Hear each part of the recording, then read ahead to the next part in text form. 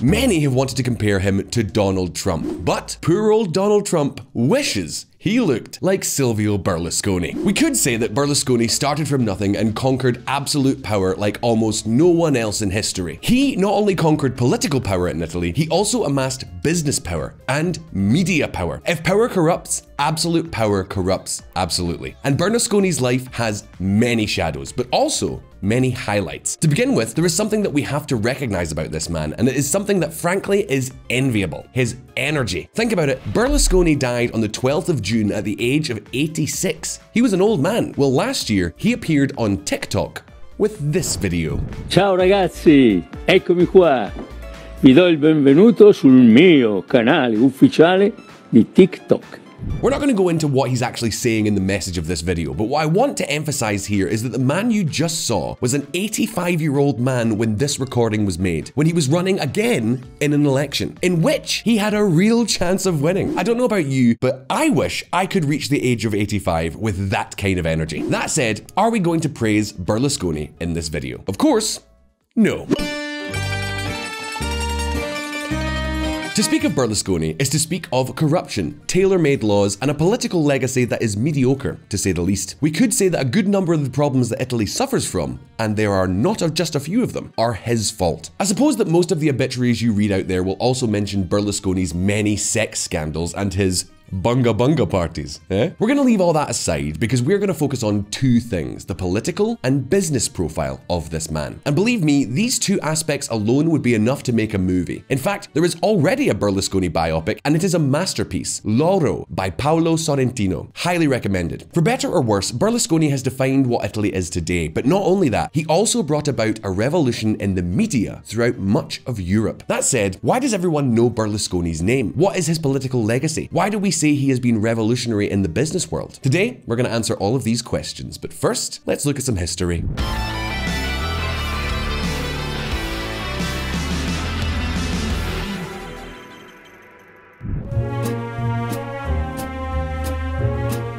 First difference between Berlusconi and Donald Trump is their birth. While Trump was born into a family that was already immensely wealthy, Berlusconi was born into a middle class family in Milan. Normal parents, normal education, and a normal life. However, Berlusconi had something special. He was fascinated by show business and was the best salesman you could find. In fact, Berlusconi's beginnings were as a singer. That's right. Berlusconi started his career as a crooner who entertained parties on cruise ships and the like. Not surprisingly, that also launched his fame as a heartthrob. But as we said, we're not going to focus on anyone's sex life because we are a serious channel. No sex at all?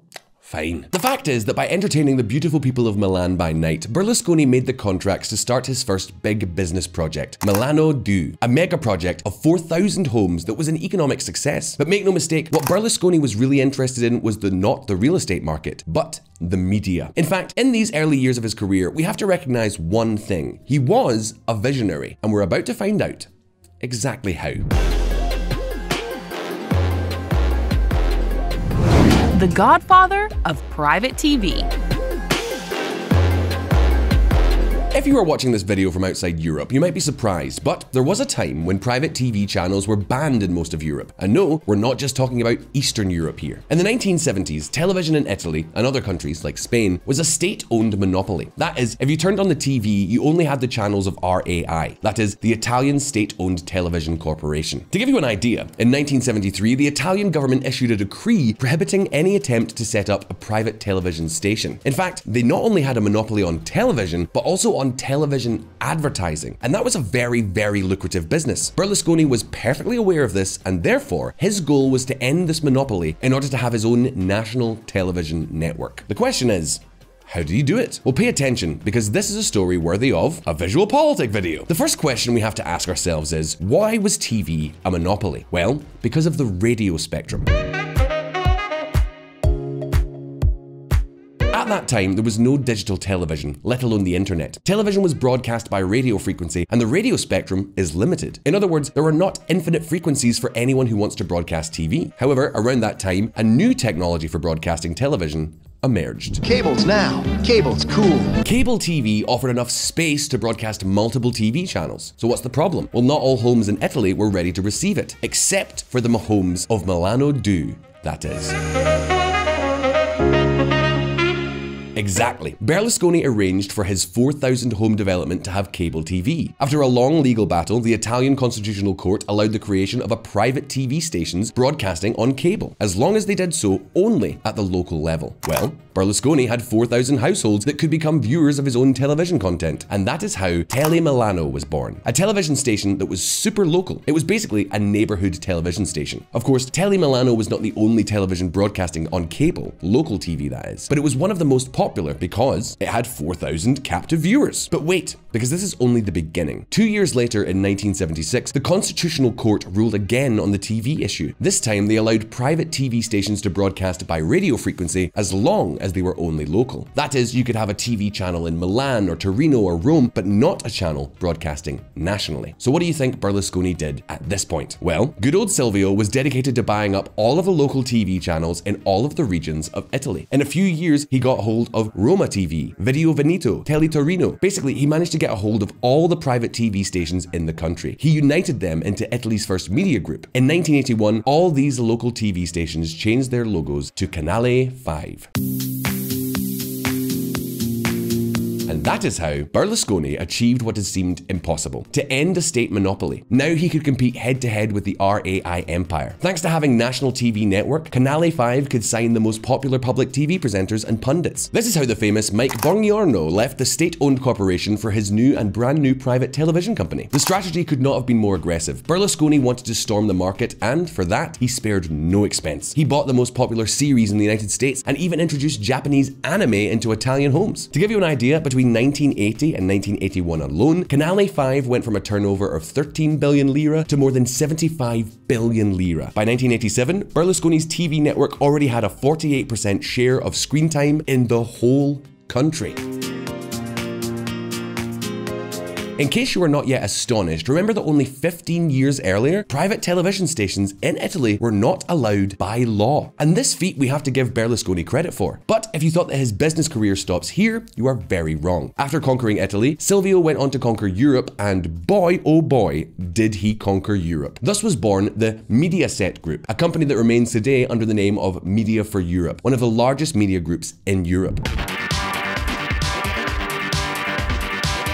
Basically, this man was dedicated to buying shares in many of the private television stations that were beginning to emerge in other countries around him. And this is where we come to Spain. Until 1989, private television was also banned in Spain. But in the 1990s, the government put an end to the state monopoly. And then there was Silvio, also known as Il Cavaliere, ready to enter with Telecinco. And here we come to the darkest part of Berlusconi's business career debt. You don't build such a media empire in just over 10 years without borrowing money from half of the world. By 1994, Fininvest which is the financial arm of Silvio's empire, was the second most indebted company in all of Italy. So at that point, what do you think he did? What's the next step when you become lord and master of the media? Well, you pack up your things and you leave the company. That's right. In 1994, Berlusconi gave up all his leadership positions. However, he kept all the shares in his empire. Keep this fact in mind because it is going to be important for the next phase of the story. But where did Berlusconi go? Well, we're going to find out right now.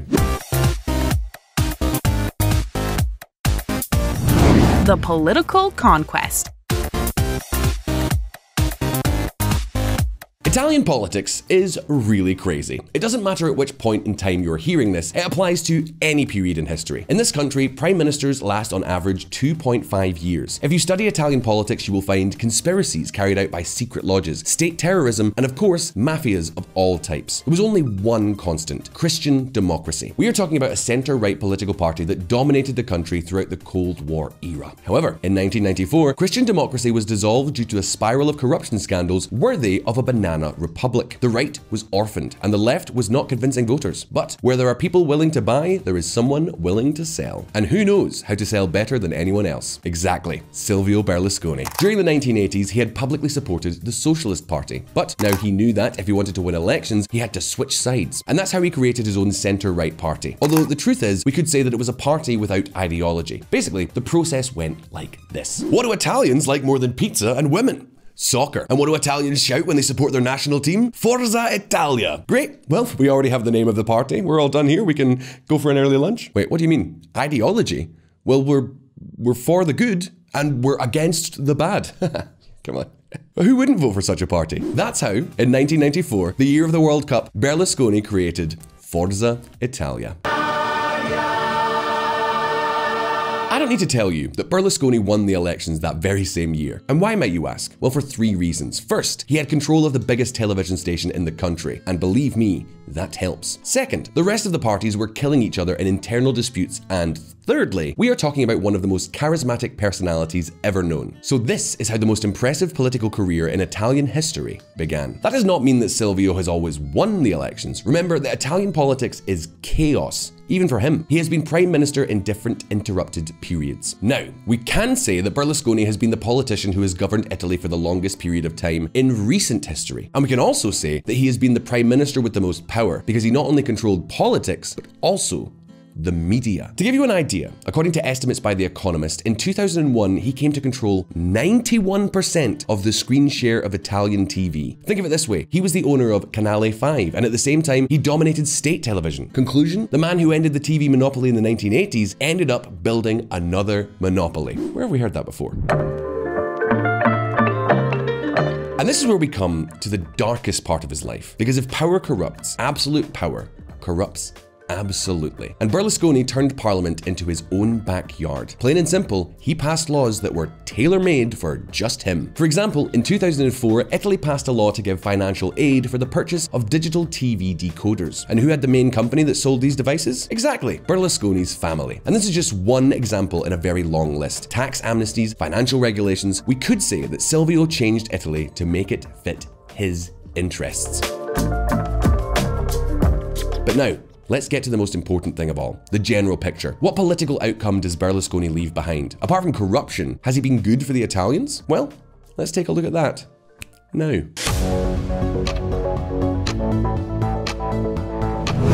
Power for power's sake. Italy's economy is, to put it bluntly, even worse than its political class, and it makes no difference when you are hearing this. Actually, Italy had a very good period in the 1980s. That is, when Berlusconi was building his business empire, the country was on fire. In the early 1990s, the Italians were richer than the British and were close to catching up with the Germans. Now, however, Italy is in Europe's intensive care unit, one of the few countries that is now poorer than it was 20 years ago. And why, you might ask? We have a couple of videos where we explain it in detail, one from VisualPolitik and one from our sister channel, VisualEconomik. I'll leave the link in the description below. But Here's a brief summary. Italy has systemic problems that make it almost impossible for it to function. It has a huge and totally inefficient state with more than 3 million civil servants and a lot of public spending. But that's not all. One of Italy's great weaknesses is the most absurd bureaucracy you can imagine. For example, almost all the professions are governed by regulatory colleges. That means if you want to work as a journalist or as a computer scientist, you need a license. And getting that license is a process that seems to be from another era.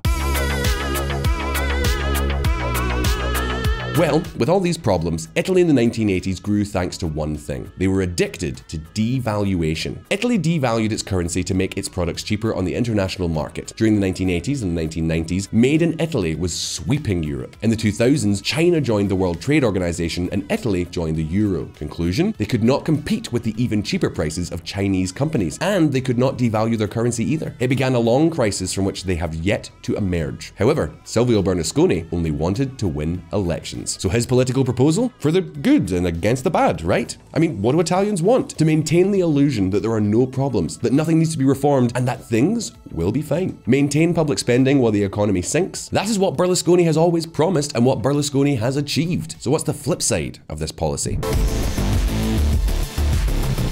Well, you see, right now, Italy ranks 7th in the world in debt to GDP and 5th in debt per capita. In fact, today, Italy is one of the biggest headaches in all of Europe. And in a way, a good part of that is due to what Berlusconi did, or rather, did not do, despite having more power than almost any other politician.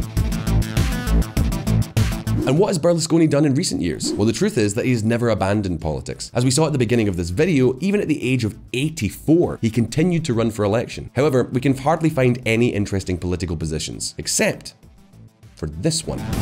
Silvio Berlusconi, ex-PM, defends Russian war on eve of Italian election. Exactly. Berlusconi has been supporting Russia in the Ukrainian war. And why, you might ask? Well, his argument was based on the fact that he knew Vladimir Putin personally, and they were very good friends. In this case, it seems like Berlusconi's private life does affect his political positions, or so it appears from photos like this one. Conclusion? So no one can deny that Berlusconi was a true genius, a self-made man. He managed to have more power than almost any other man in history. He combined economic, political, and media power in the same person. However, he used all that power in a mediocre way to say the least. And now, the questions are over to you. Will we ever see a new leader with as much power centered in one man as Berlusconi? Are there other international leaders we could compare him with? And would you like to reach 80 something years of age with as much energy as Silvio? You can leave me your answers in the comments below. As always, don't forget that here on VisualPolitik, we release new videos every single week. So subscribe to this channel and hit the little bell button down there so you don't miss any of our updates. If you like this video, like it so we know. All the best. I hope you enjoyed it.